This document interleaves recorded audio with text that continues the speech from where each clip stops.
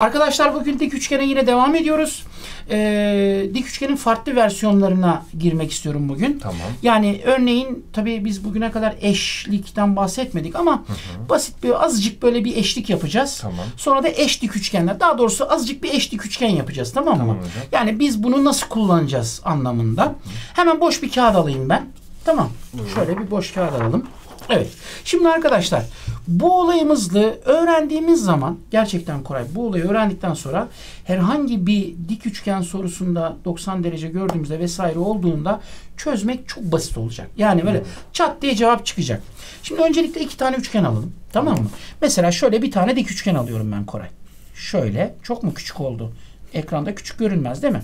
A, B, C. Görünebilir hocam. Görünebilir mi? O zaman biraz büyük alayım Biraz şöyle. büyük. Şöyle büyük alalım. Bu uygun değil mi? Şöyle. Arkadaşlar şöyle bir dik üçgen aldık diyelim. A, B, C dik üçgeni. Şimdi ben bunun aynısını buraya çizeyim diyorum. Tamam. Ama farklı bir şekilde çizelim. Yani şurası A kenarı oldu. Şurası B kenarı, şurası C kenarı oldu. Bak ama aynısını çiziyorum ha.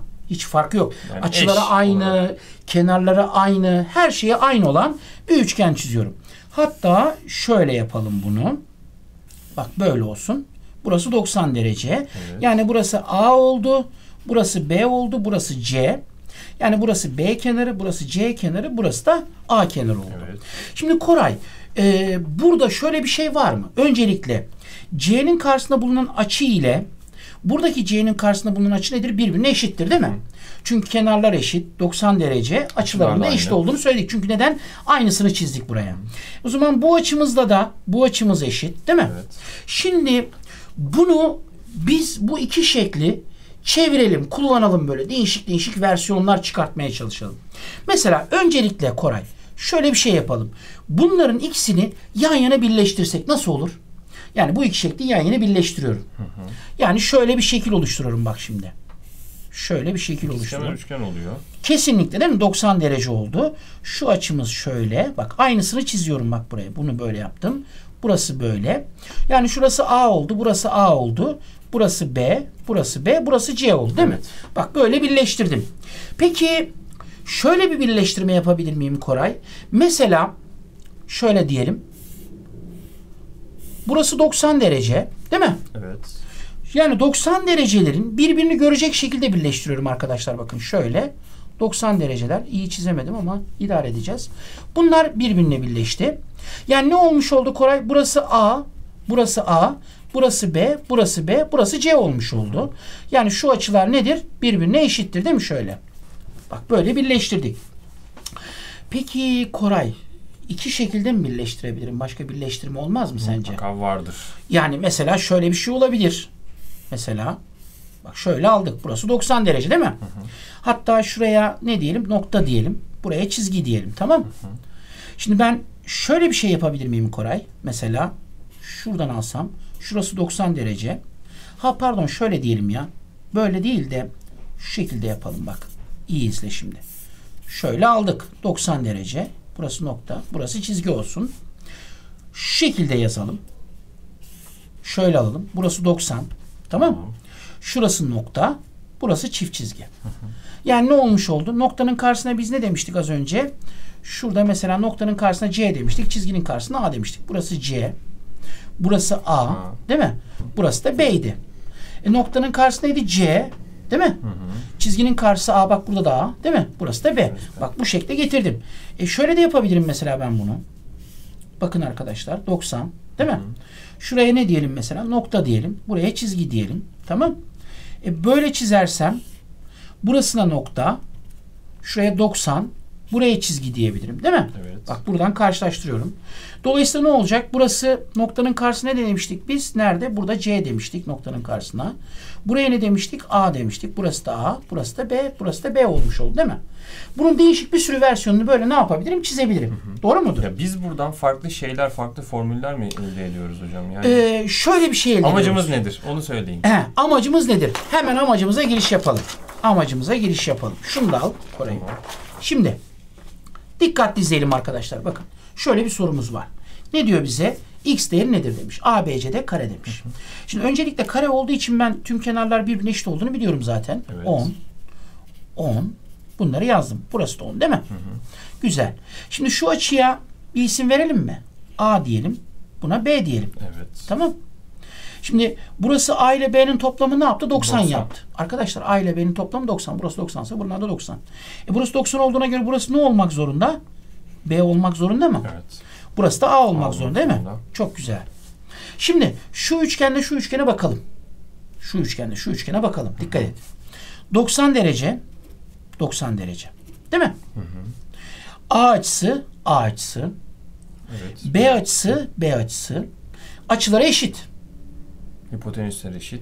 90'ın karşısı 90'ın karşısı. Hipotenüsler de eşit. Yani az önceki o bir önceki kağıdı verebilir misin Koray? Az önceki şuradaki olayımız oldu mu bak? Yani açılar eşit, kenarlar eşit, 90'ın karşısı da eşit. O zaman bunlar eş üçgendir. Bunlara o zaman biz ne diyebiliriz? Eş üçgen diyebiliriz. Dolayısıyla eşit açıların karşısında kenarlarda ne olmak zorunda? Birbirine eşit olmak zorunda. Yani A'nın karşısında 6 varsa burada da A'nın karşısında ne olacak? 6 Altı. olacak değil mi? Bak burası 6. B'nin karşısında gerek var mı? B'nin karşısında bak ne yok. Burada bir dik üçgen var bak görüyor musun? 6, 10. Burası ne olmak zorundaydı Sekiz. arkadaşlar? 8 olmak zorundaydı. Yani x değerimiz neymiş? 8'miş. Bu kadar. Gayet basit. Bitti. Bitti. Şimdi bir sonraki sorumuz neymiş bakalım. Ee, evet. Hmm, zor bir soru gibi duruyor. Evet hocam. Ne yapacağız burada? Hemen şu verileri bir yazalım. 90 derece demiş. Şuraya A diyelim Koray'ım. Tamam. Şuraya B diyelim. A ile B'nin toplamı 90. Arkadaşlar dikkatli izleyelim. A ile B'nin toplamı 90. Dolayısıyla burası ne olmak zorunda Koray? Burası da A olmak A zorunda olmak 90 zorunda. olduğu için değil mi? Hı hı. Şimdi elimizde A, B 90 var. Bir de hipotenüs var. Bununla bu eşitmiş. Ama burada A var, 90 yok. Hipotenüs de var. Dik üçgen yok. O zaman şuradan birleştirme yapalım mı şöyle? Bak Yapalım böyle birleştirdik. A 90. O Burası ne olmak oldu. zorunda? B olmak zorunda. Şimdi B'nin karşısı kaçmış? 4. 4. O zaman burada da B'nin karşısı ne olacak? 4 olacak değil mi şurası? Çünkü Tamamı evet. eşit Hipotenüsler eşitse ve açılar eşit. açılar da eşit. olacak. O zaman iki üçgenimiz neymiş? Eş üçgenlermiş. B'nin karşısında 4 varsa arkadaşlar burada da B'nin karşısında 4 olacak. Yani şuraya K dersek AK uzunluğu 4 birim. Şimdi A'nın karşısında ne var? X var değil mi? O zaman burası da ne olmak zorunda? X, olmak zorunda. Şimdi tamamı X diye buraya ne kalır? O zaman X eksi 4 kalır mı? Evet hocam. Şu dik üçgeni alalım. Şöyle kenara koyalım. Şöyle aldık. Tamam. Burası 20. 20. Burası neydi? X eksi 4. Burası 90 derece. Burası X'ti. X. Şimdi burada Pisagor yapmaya kalkarsak biraz e, kareler alacağız. Yani bizi uğraştırır. uğraştıracak. Uğraştırır. Bu tip sorularda ne vardı arkadaşlar? Özel üçgen arıyorduk. Yani 3, 4, 5'in katı, 5, 12, 13'ün katı vesairenin katı şeklindeki özel üçgenlerimize bakıyorduk. Ne olabilir burada? Ya şimdi hipotenüste 20 var. O zaman 20 var. 12, 16, 20 olabilir. 3, 4, 5'in katı olan 12, 16, 20 üçgen olabilir. Yani ben x'e 16 dersem değil mi? Evet. Bak burası 16 ise e, 16 ise şurası 12 oluyor x ne zaman. olacak? Şey e, x X eksi eksi 4 ne olacak? 12 olacak. Neymiş o zaman x değerimiz? 16 X soruyordu bize. Evet. 16'ymış diyoruz. Devam edelim. Devam edelim. Evet yine bak eşitlikler var bak burada. Hemen A, B'leri yazalım mı Koray'ın? Yazalım hocam. Buraya A dedik arkadaşlar. Buraya B dedik. Şimdi A ile B'nin toplamı 90. Şimdi burası 90 derece olduğuna göre bu açının tamamı 180'di. E o zaman şurayla şuranın toplamı ne olacak? 90 olması lazım değil mi? O zaman A kaldı orada. Buraya A kaldı. Burası da ne oldu? B oldu. B oldu. Yani ABC üçgeni ile CED üçgeni bakın 90 dereceler karşısındaki kenarlar aynı olduğu için zaten açıları eşitti. Bir de herhangi bir açı karşısındaki kenar da eşit olduğu için ne oldu arkadaşlar? İkisi eş üçgen oldu. Ne diyeceğiz bundan sonra? B'nin karşısında 15 varsa B'nin karşısında 15, 15 olacak. olacak. A'nın karşısında bu üçgende 8 varsa A'nın karşısında burada ne olacak? 8 olacak. 8 olacak. E zaten bana neyi soruyor? BD'yi BD'yi soruyor. soruyor. Neymiş cevabım? 8 artı 15'ten 23. Ya da CE'yi sorsaydı da ne olacaktı? Pisagor'dan 20, evet, 8, 17 15, diyecektik. 17 üçgeni olduğunu söyleyecektik. Al bakalım. Oo, şuraya 90 demişiz Koray. Şurası 90. Fatma 90'ları güzel çizemiyor bak. Evet. Şimdi BC ile CD'nin birbirine eşit olduğunu söylemiş. BC'yi bir gösterelim şöyle. BC bu. CD de bu. Değil mi? Evet. Şimdi şu açıya ben A dersem şu açıya B dedim. Şimdi burada 90 var. Başka bir şey çıkmadı ya. Harflendiremedik mi? Hafiflendiremedik yani dik üçgen yok yani şunlar eşit birbirine de nasıl bir şey kullanacağız burada? Nasıl bir şey? Yani bunların eşit olacak şekilde bak burada bir dik üçgen var burada dik üçgen yok. E bir dik üçgen çizelim buraya o zaman değil mi? Çizelim hocam. Şöyle bir çizdik dik üçgen. Aa bak 90 burası B ise A ile B'nin toplamı 90 demiştim ben az önce. Değil mi? Ne kaldı? A kaldı oraya. Buraya ne kalacak o zaman? A kalacak. Buraya ne kalacak? B. B kalacak değil mi? E 90 da burada. O zaman bu iki üçgen ne? Eş üçgenler değil mi? Üçgen. A'nın karşısında 8 varsa yani şu üçgende A'nın karşısında 8 varsa A'nın karşısında 8 olacak.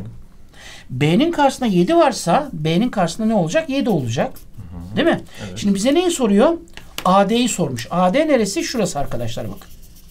AD burası. Evet. Hemen şurada büyük dik üçgeni gördük. 8, 15. 15, 17. 17. Çok seviyorum değil mi ben özel üçgenleri kenarlarına göre. Evet, e, önemli olan nokta zaten e, ÖSYM'nin de en çok dikkat ettiği yerlerden bir tanesi Koray'ım o. Arkadaşlar yani 8, 15, 17, 3, 4, 5 ve katları Veya 7, 24, 7, 25. 24, 25 bunlar gerçekten çok çok önemli. Ben de e, tüm sorularda bu tip e, sorular üzerine durmakta fayda olduğuna e, açıkçası canı gönülden inanıyorum. Evet bir dahaki dersimizde görüşmek üzere diyoruz.